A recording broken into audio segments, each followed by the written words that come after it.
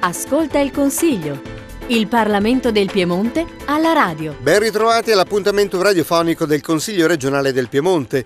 Il riconoscimento della cittadinanza alle persone di origine straniera che vivono in Italia è stato al centro del dibattito che ha coinvolto in aula consiglieri di maggioranza e opposizione, cinque gli ordini del giorno discussi.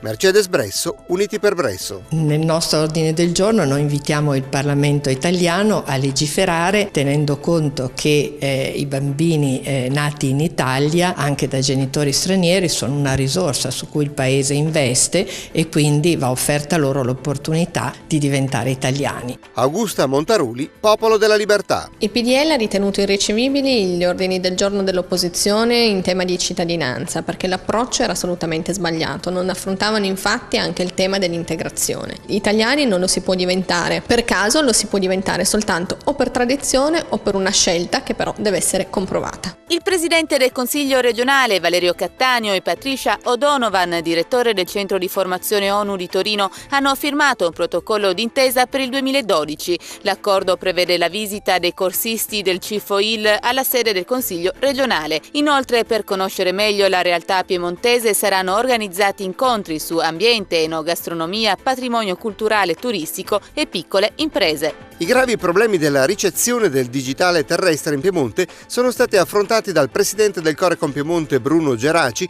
con il commissario Ezio Ercole nell'incontro a Palazzo Cisterna di Torino con il Consiglio di Presidenza dell'Unione delle Province Piemontesi. I presidenti si sono impegnati a rilevare entro due settimane, comune per comune, la situazione della qualità della ricezione del segnale dei servizi regionali di Rai 3 e quella delle TV locali. Piemonte è protagonista, la Borsa Internazionale del Turismo di Milano, al centro della proposta piemontese sport, enogastronomia, benessere e turismo legato al mondo dello spettacolo. Valerio Cattaneo, presidente del Consiglio regionale. Ho potuto verificare personalmente con questa mia giornata qui alla BIT l'interesse di tanti potenziali turisti di venire in Piemonte e di trascorrere le proprie vacanze in Piemonte e credo che con le nostre peculiarità che sono state rappresentate in queste giornate e che continueranno a essere rappresentate possiamo sicuramente auspicare un 2012 alla grande. In occasione dell'8 marzo, festa della donna, il Consiglio regionale del Piemonte con la consulta delle elette propone lo spettacolo teatrale Sante Madri Sirene in quattro capoluoghi di provincia. L'ingresso è gratuito sino a esaurimento posti. Giuliana Manica, presidente della consulta,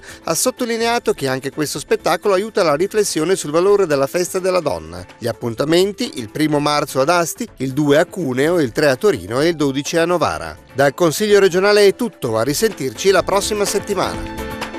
Ascolta il Consiglio il Parlamento del Piemonte alla radio.